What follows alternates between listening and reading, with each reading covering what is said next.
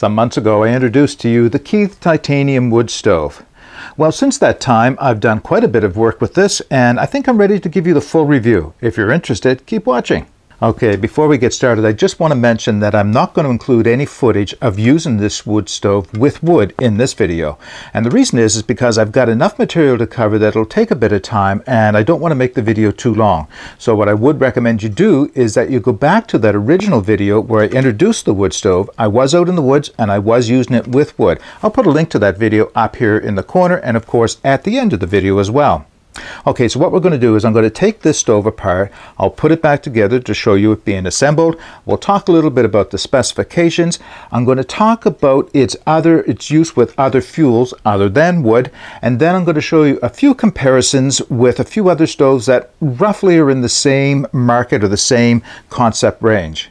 Okay, here's how the stove arrives when you buy it in this nice nylon pouch. It's actually quite a nice nylon pouch, nicer than a lot of the ones the, the stoves come in that I receive. It's, uh, it's got the little Keith logo right here on the end, which is a nice touch. Zipper closed, not Velcro, which is also kind of nice. Let's take a few of the components out. Now, just a quick thing I want to show you here, and that is I have stacked all the plates so that the bottom, if it were assembled, these would be the, bo the bottom of the plates, are all in one direction. And that gives me a little recess here. So just from experience, what that allows me to do is to get the plates in and out of the envelope just a little easier because the zipper doesn't run the full length of the envelope. So you, it's nice to have that little bit of a gap there just to get it in and out. All right, let's set the, the pouch aside. So you get the stove, you have, that would be the front, this would be the back, and two sides. And I'm going to mention the sides again in a minute. The sides are where the larger feed ports are, and they're going to be important for handling the stove once it's assembled. So let me start with the back. And now what's interesting about the back I'm calling the back the one that actually has the Keith logo on it. And you'll see why in a minute. So I have uh, my stove dirtied up from quite a bit of use, and I like to turn the dirty sides in just to keep things clean. It's always cleaned after use, of course, but so now I have three sides assembled, or two sides and a back, and I have, there's my front piece. And now it's time to put in the fire grate and the ash pan. So on each of the fire grate and ash pan, there are tabs on three sides. You can see those tabs there.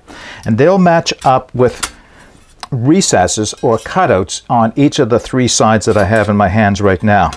So again, it's one of these stoves that you have to learn how to assemble. A little bit of practice goes a long ways, and then you'll you'll get this, the hang of it, and you'll be faster each time.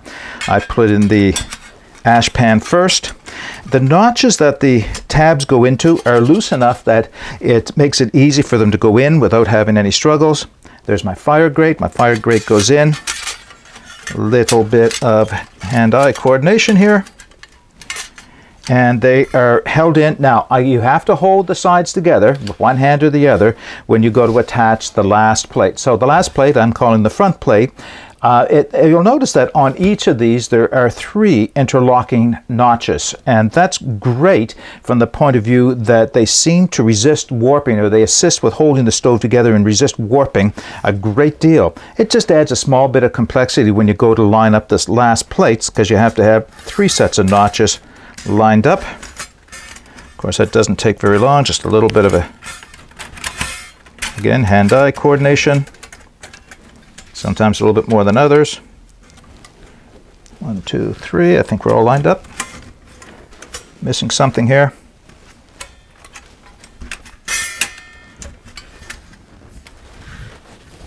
There, I think we got it now. Oh, there we go. Missed one.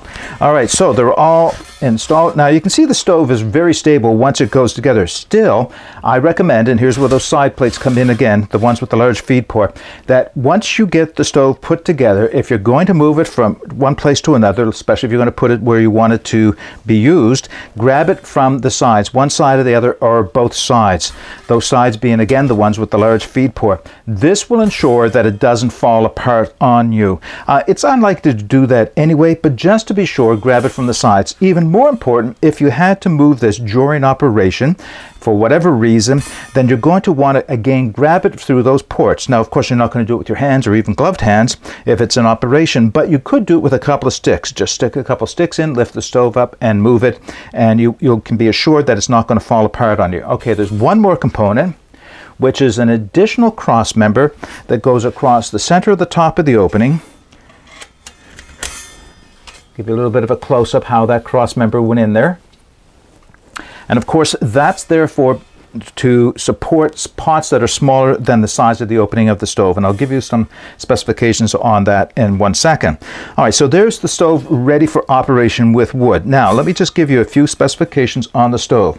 So the overall height of the stove is 6.3 inches from bottom to top, or 16 centimeters.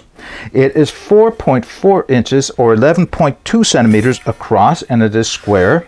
There is a burn chamber depth of 5 and 5.12 inches or 13 centimeters down to the fire grate.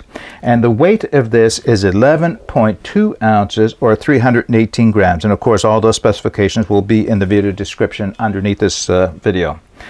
Okay, so there we are ready to use for wood. So it is designed primarily for wood, but like all of my stoves, if I can get a multi-fuel use out of them, then I feel it's a much more versatile stove.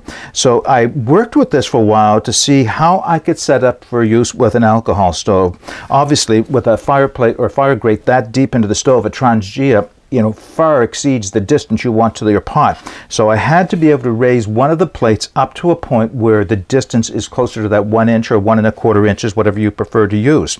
So I'm going to show you what I did. I have to take the stove apart slightly to set it up for that. I'm going to show you what I did, and then I'm going to show you an alternative that uh, requires no machining whatsoever. All right, give me one second. Okay, to set it up for a Trangia, and I'm using my Alocs burner here, to set it up for a stove of that style, you do have, or at least I thought in the beginning, that I had to do some machining. So let me take it apart and I'll show you what I did.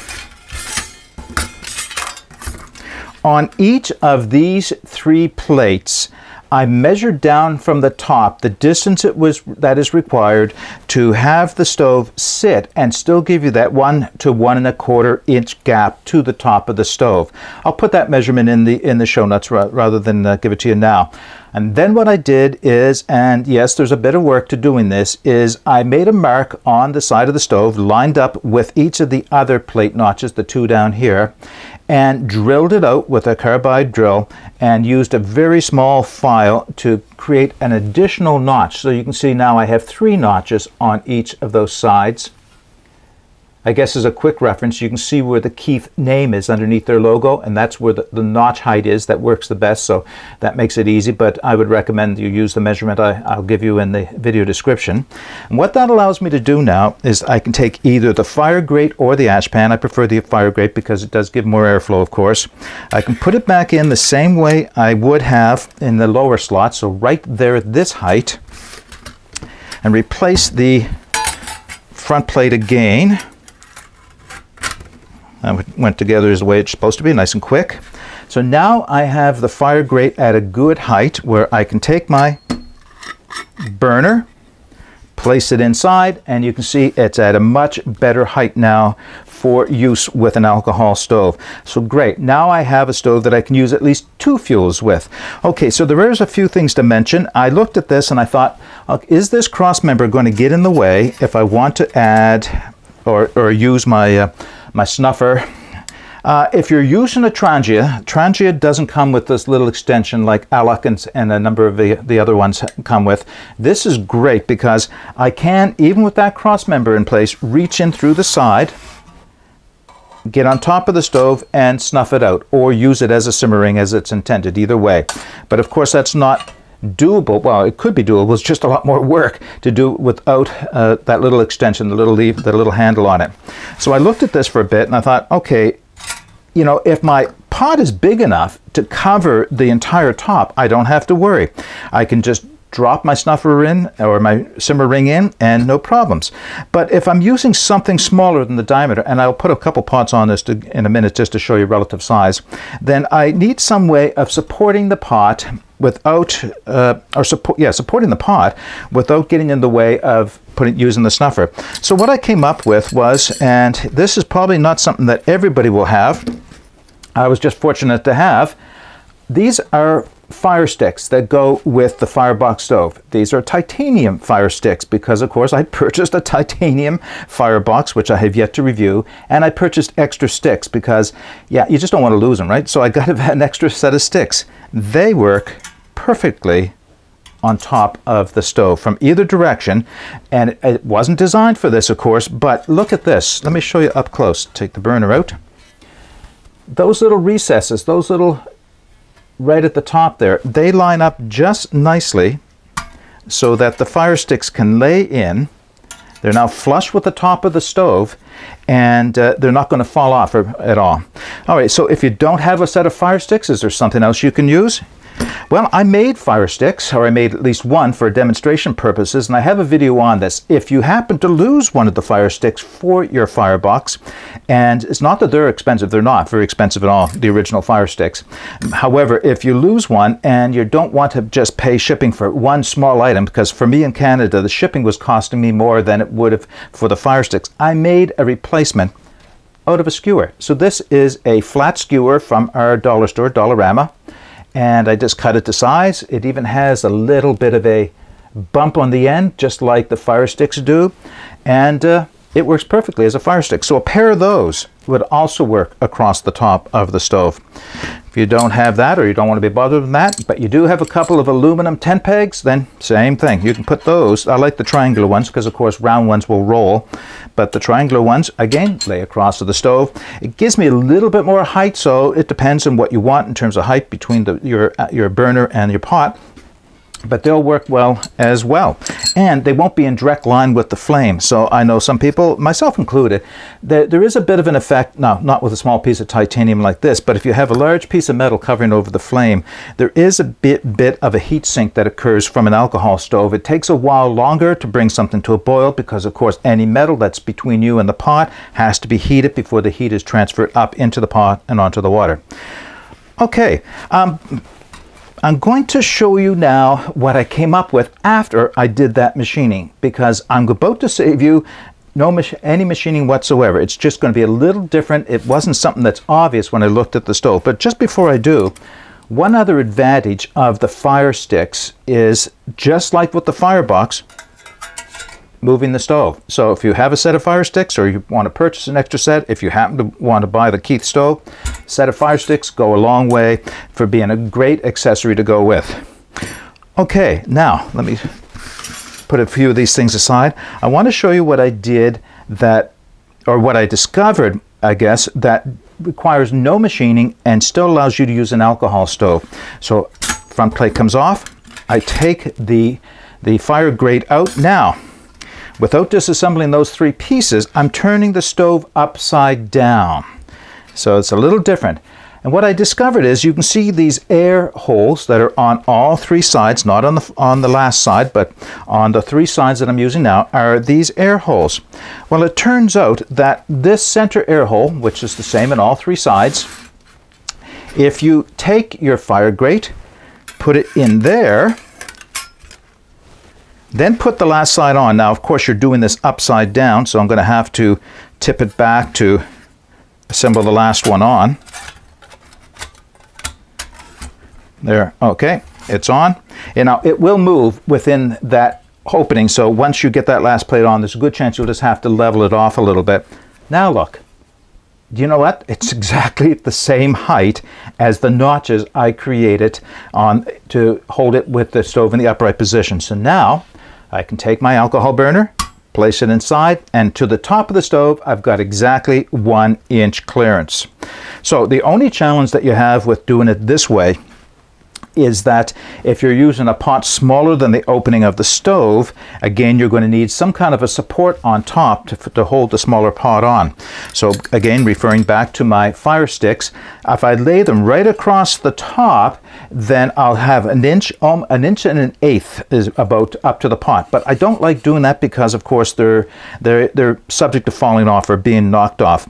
But there are notches built in the bottom of the stove that don't lock your pot stands in, but they do allow it to sit in there without falling off. Now you are reducing your height to about three quarters of an inch. Your alcohol stove will still work. It'll just take a little longer to reach the boil. And what's the rush, right? So this allows me to have a, a, a stand for a smaller pot that's actually adjustable to the pot size, to a certain degree, of course. I had no machining to do whatsoever in order to achieve that. So now I've got a working uh, alcohol stove to go with my Keith wood stove. One other side benefit is there's more solid sides to the stove when it's in, inverted like this and that means you've got a little bit less influence from the wind but you still have air that will enter that needs to be there to feed the alcohol stove all right before I do anything else what I'm going to do now is flip the stove back up put this plate back into, uh, let's use the original wood burning position. Take me a second. Line it up the tabs. And again, just a little bit of fiddling, especially if you're just getting used to using it. Holding everything together replace the front. All right.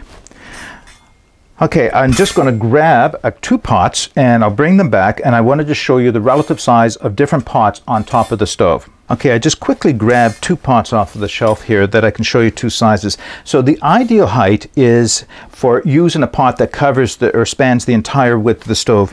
It's something that is 14 centimeters or greater. Now this is just a little stainless steel kettle that I have, but it is a 14 centimeter pot. So any 14 centimeter pot will go across to the stove and be just perfect. So I did try this with my 12 centimeter Zebra and it's just just sits on. And to the point where I wouldn't trust it without putting that center cross member in to support it you know a little bit off one side or the other. So 14 centimeters or larger and that includes things like the Pathfinder bush pot and the Mors bush pot or the Solo 1800 pot. Those are all 14 centimeters or 14 centimeter zebra pot of course.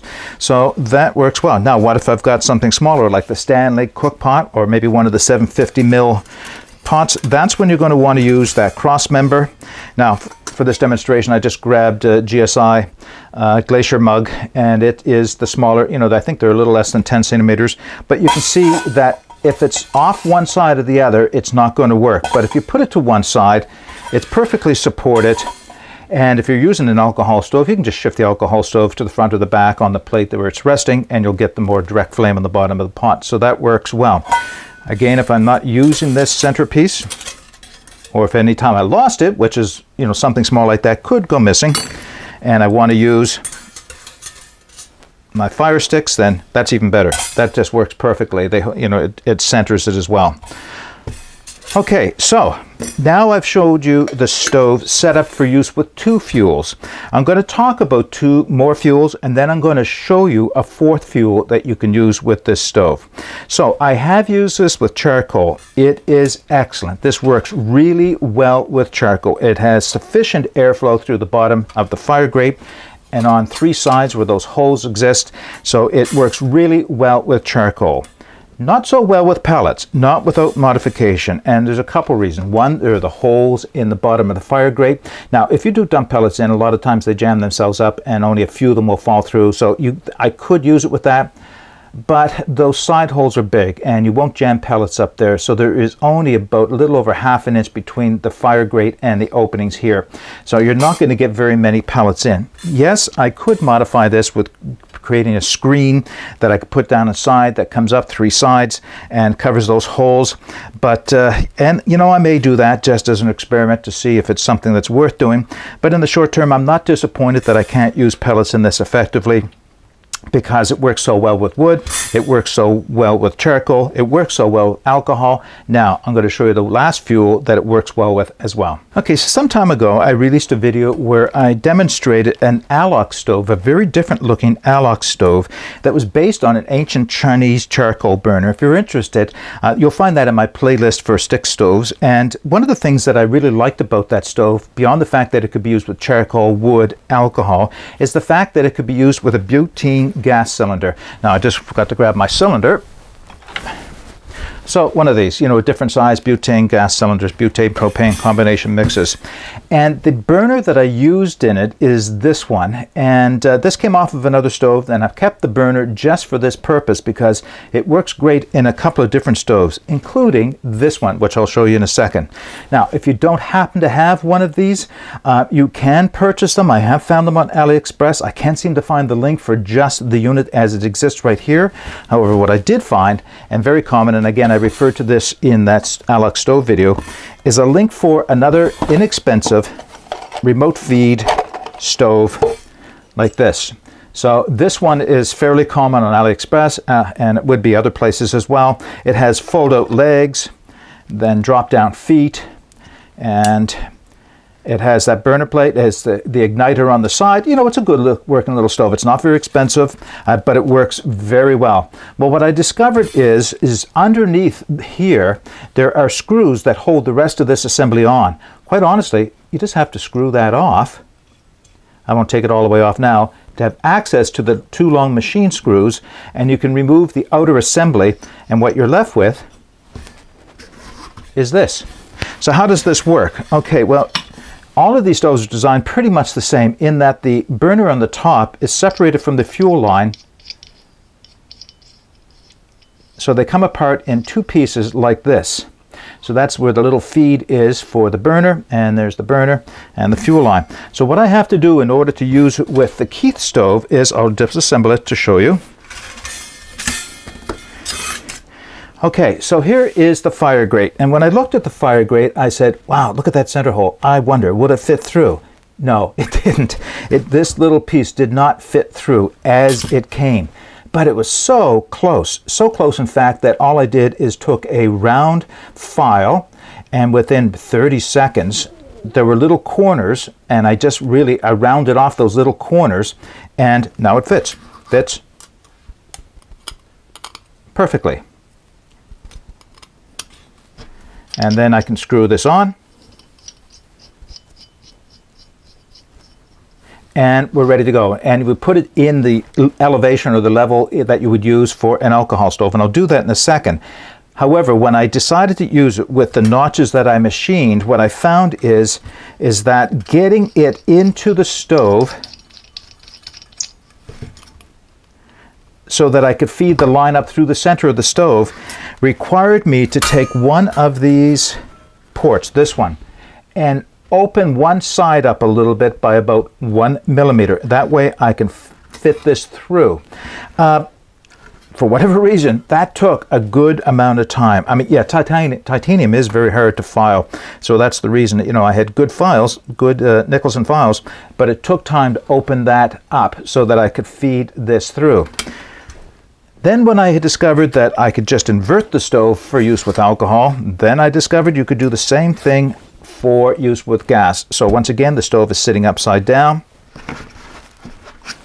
take my plate and put it in. Now you can do it either, you can either put the wood or the gas burner on now or assemble the stove and then put the gas burner on. It's pretty much uh, the same process assemble my last side again. Remember, again, I'm working with it upside down.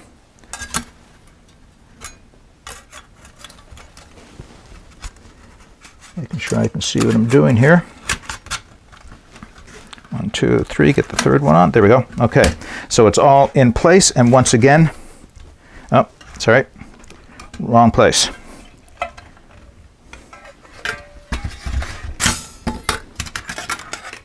I want it so it sits in these uh, openings down here. So I can put it back together in the right side position and then turn it upside down.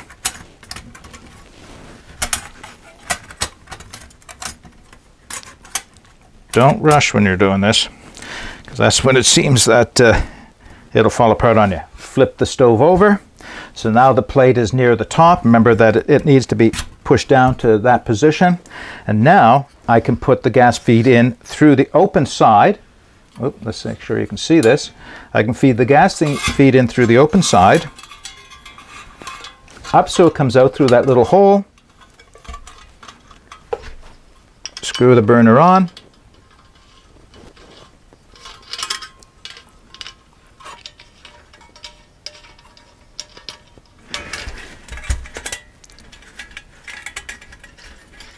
It is easier than I'm making it look. There we go. Just trying to do it so you could see what I was actually doing. Okay, so now we're installed at a good height. Attach it to my gas canister.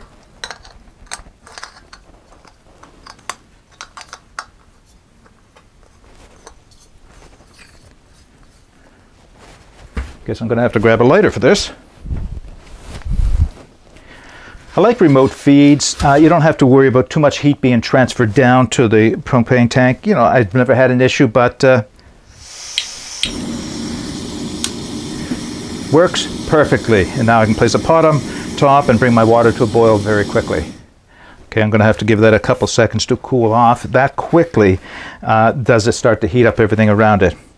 Okay, I'll come back in a minute because I want to show you a comparison with a few other stoves in the same general design. All right, just before I show you a few comparisons, just a few more comments on something that another option you can do with the stove uh, for use with wood. So what I did is I took the stove apart, I removed the ash pan from the bottom of the stove, I took the fire grate and put it in the lowest position, which is that bottom notch here, and what that gives me, it gives me a little bit deeper, I mean not much, we're talking a little over half an inch, but I have now have a little bit greater depth to the burn chamber if I wanted to put in slightly larger pieces of wood.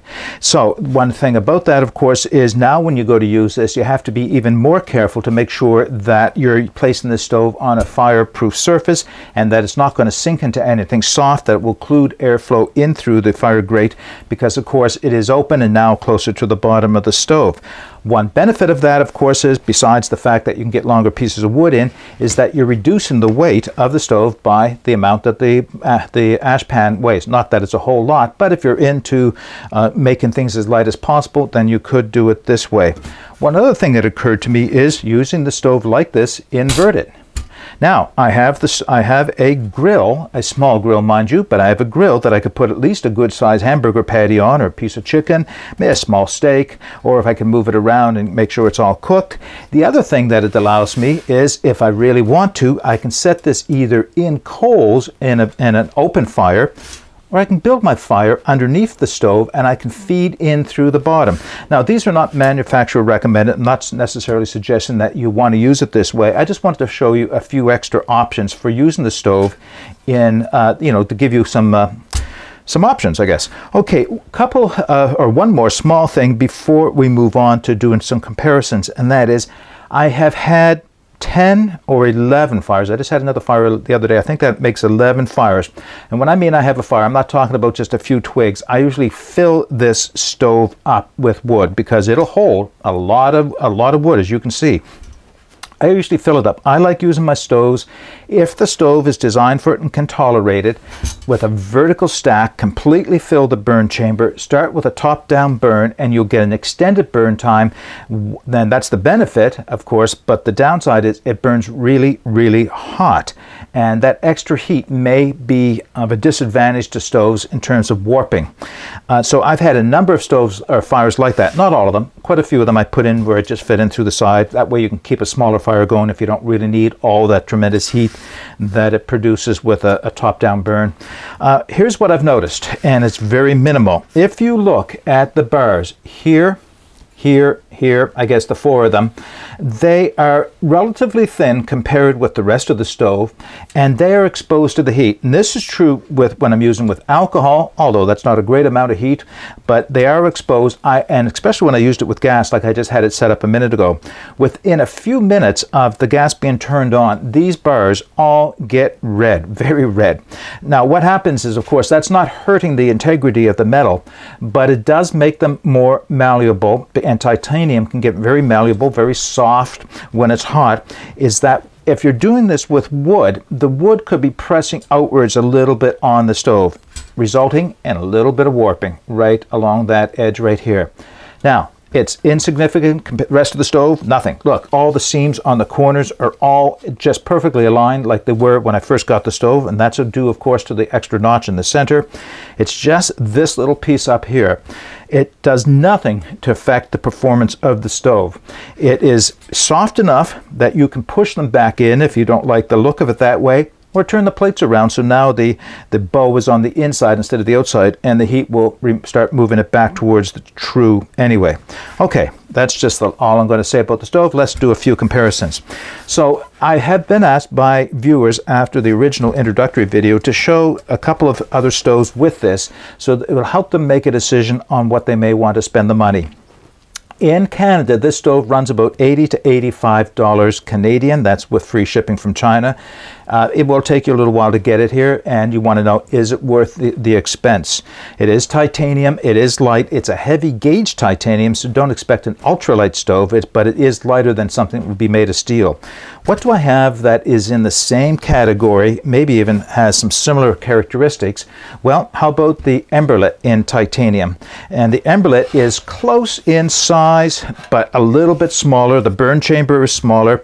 There is some differences in design, but they're fairly close in design. The Emberlit is consider well, not considerably lighter. Of course, I'm going to put a comparison of all the sizes and everything uh, in the video description.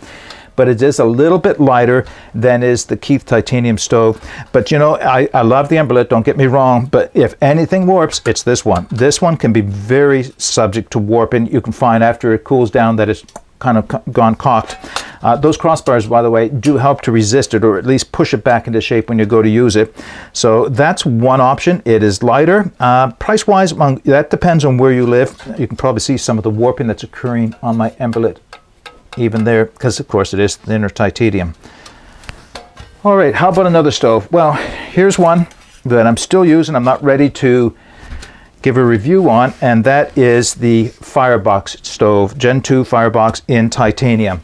Uh, great stove. Can't beat these things. You know, uh, the, there's been an awful lot said about these stoves, and it's all true. It's all well deserved. The design is just simply outstanding. Uh, I can't fault this stove in any way. Uh, you can, except for the cost. Maybe that's one fault I could find with it because it is certainly much later than the stainless steel version is. So the downside, of course, is the cost. I haven't had so many fires in this yet that I've noted anything happening to it in terms of warping or anything else. So uh, I'm not ready to give you that kind of a long-term durability statement. But I just wanted to give you a size comparison between the two stoves. So the firebox is a little taller and a little wider, and I mean very little. And as you can see, if you look at the open sides of the firebox, it's almost identical to the Keith. This portion of the stove gives you a little bit more height. However, the Keith has a greater or larger or sorry a deeper burn chamber not by much again but a deeper burn chamber because the firebox has quite a bit of height or distance between the the fire grate and the ash pan uh, so that's a, a good comparison in terms of size price is going to be considerably different. A lot of it has to do with what are you willing to give up from the firebox and in order to save money. Uh, yes, this one's a lot more fiddly to putting together than the firebox. You can't beat that folding design. It's it works out that well. Uh, this one is designed from the get-go to be used with with the fire sticks for alcohol and gas, like a Trangia burner. So you know it has a lot more built into its original design. But once again, you're paying a lot more for this stove. So that's something you'll have to decide if, if the extra cost is worth it to you. Size-wise, they're close enough that I'd, I'd call them, you know, pretty much an even draw. Yes, the Firebox is a slight bit bigger, but not a whole lot. Okay, I have two other stoves. These are brand new to me, and you may, would have seen them in a recent video, and that is the Bushbox from Bushcraft Essentials, and I have it in two sizes. This is the XL version brand new, hasn't had a fire in it, you can see. I'll get to testing this one shortly. Again, it is almost identical in size to the Firebox, so everything that I said about the Firebox in relation to the Keith stove holds for this stove. Uh, you know, I can't say anything about warping and long-term durability, but all the aspects of, of uh, versatility applied to this stove as they do to the LF. Now the LF may be the one, the LF being the large folder, uh, foldable stove, is just a tiny bit smaller than the Keith. But uh, you know, again, a fairly close comparison. So there you go. There's some size comparisons for some different titanium stoves. All of them are more expensive, or all the three or the four comparison ones are more expensive than the Keith, but they all have some added value for them, such as the folding, the design that is, is intended for, uh, built right into it for versatility. But as I, you saw, with a little bit of creativity, this Keith can be used very versatilely. Okay, let's wrap this video up. You know, when I first started looking at the Keith titanium wood stove, when I first bought it on AliExpress, I was uh, really intrigued by the design. It appeared, based on my experience I have with other wood stoves, that this would be a good performing stove. So when I reached out to Keith of USA and they agreed to send me the stove, and by the way, I would have bought this stove regardless, so I do want to thank Keith again for sending me this stove. It has, it is definitely a stove that I would purchase for myself. So when I, when I did purchase the, or received this stove, it lived up to the expectations I had for, for use with wood. Uh, but then again, I started to think about it some more and realized, ah, it's not really designed for use with alcohol, so it's not as versatile as I had hoped it would be. But as you can see, with a little bit of creativity, you can make this stove a much more versatile performer. So now it works well with not only wood, it works well with charcoal, it works well with alcohol, and it works well with the propane butane gas cylinders. The only thing that I have not found a good way of using this stove with yet is with wood pellets. But there may be a way, you know, a little modification with some screening. If you want to go that far, you can turn this into a pellet burner, I'm sure. Maybe you have some suggestions on how you would go about doing that. Okay, I think I've given you more than enough information that you can decide for yourself whether or not you want to purchase this stove. So what I will do is I'll put the link, or at least one link, in from AliExpress in the show notes where you can find it. And if you look around, just say Keith Titanium Wood Stove, I'm sure you'll find other links because there are a number of uh, sellers on AliExpress and probably on, e well, yes, on eBay as well. I'm not sure if this appears on Amazon. If it does, I'll put that link below. And as I mentioned already, I'll put all the other information for this stove, specifications as well as the comparison specifications for the other wood stoves I showed you.